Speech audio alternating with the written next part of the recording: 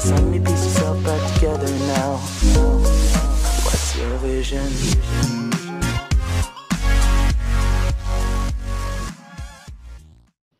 Friends ଆମେ ଆମ ଜୀବନରେ ବହୁତ କିଛି କରିଥାଉ କିନ୍ତୁ ଆମକୁ ତାର ସଫଳତା ମିଳିନଥାଏ ଏହିପରି କାହିଁକି ହୋଇଥାଏ କଣ ଏପରି ଆମ ଜୀବନରେ କଣ ଘଟୁଛି ଯାହା କାରଣରୁ ଆମେ ଉନ୍ନତି କରିପାରୁନାହୁଁ ଏହାର କାରଣ ଏହା ଅଟେ ଯେ ଆମ ଉପରେ ନକାରାତ୍ମକ ପ୍ରଭାବ ଅଧିକ ରହିଥାଏ ସିଧା କଥାରେ କହିବାକୁ ଗଲେ ଫ୍ରେଣ୍ଡସ୍ ଏବେ କଳିଯୁଗ ଚାଲିଛି। ଏବଂ ଏହି କଳିଯୁଗରେ ଏପରି ହିଁ ହେବ।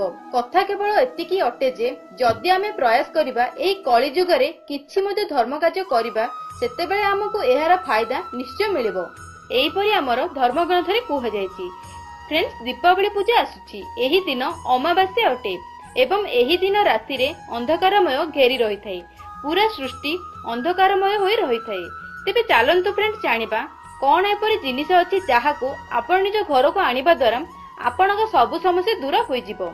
ଫ୍ରେଣ୍ଡସ୍ ଆପଣ ନିଜ ଘରକୁ କୁବେର କୁଞ୍ଜି ନିଶ୍ଚୟ ଭାବରେ ଆଣନ୍ତୁ। ଏହା ଆଣିବା ଦ୍ୱାରା ଭଗବାନଙ୍କ କୃପା ଦୃଷ୍ଟି ଆପଣଙ୍କ ଉପରେ ଭରପୁର ରହିବ। କେବଳ ଆଣିଦେଲେ ଆପଣଙ୍କ ସବୁ ଅସୁବିଧା ଦୂର ହୋଇପାରିବ ନାହିଁ। ଏହାକୁ ଆପଣ ନିଜ ସାମ୍ନାରେ ରଖି ବସନ୍ତୁ। କିଛି ମନ୍ତ୍ର ଦ୍ୱାରା ଯାହାବି ଆପଣଙ୍କ ଭାବ ଅଟେ କିମ୍ବା ଧ୍ୟାନ ଏବଂ ଯୋଗ ଦ୍ୱାରା କିମ୍ବା ମନ୍ତ୍ର ଦ୍ୱାରା ନିଜ କ୍ଷମତା ଅନୁସାରେ ବସି ପୂଜା କରନ୍ତୁ। ଯଦି ଆପଣ ନିଜ କ୍ଷମତା ଅନୁସାରେ କୁବେର କୁଞ୍ଜି ସାମ୍ନାରେ ବସି ପୂଜା କରିବେ ଆପଣଙ୍କ ସବୁ ଅସୁବିଧା ଜଲ୍ଦି ହିଁ ଦୂର ହୋଇଯିବ।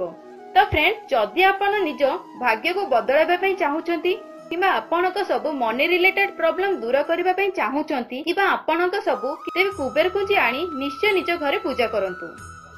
ଆଶା କରୁଛି ଫ୍ରେଣ୍ଡସ୍ ଭିଡିଓଟି ଆପଣଙ୍କୁ ପସନ୍ଦ ହୋଇଥିବ। ଯଦି ପସନ୍ଦ ଆସେ ତେବେ ଲାଇକ୍ ନିଶ୍ଚୟ କରନ୍ତୁ। ତା ସହିତ ଭିଡିଓଟିକୁ ନିଜ ଫ୍ରେଣ୍ଡସ୍ ଆଉ ରିଲେଟିଭ ଭିତରେ ସେୟାର କରି ସମସ୍ତଙ୍କୁ ଜଣାନ୍ତୁ। ଏବଂ ଫ୍ରେଣ୍ଡସ୍ ଯଦି ଆପଣ ଏବେ ପର୍ଯ୍ୟନ୍ତ ଆମ ଚ୍ୟାନେଲକୁ ସବସ୍କ୍ରାଇବ କରିନାହାନ୍ତି ତେବେ ତଳେ ଥିବା ରେଡ୍ କଲର ସବସ୍କ୍ରାଇବ ବଟନକୁ କ୍ଲିକ୍ କରି ଆମ ଚ୍ୟାନେଲ ସହିତ ଯୋଡ଼ି ହୋଇଯାଆନ୍ତୁ।